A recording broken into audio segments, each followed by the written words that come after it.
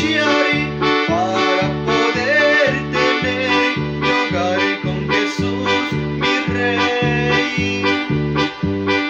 He de sufrir.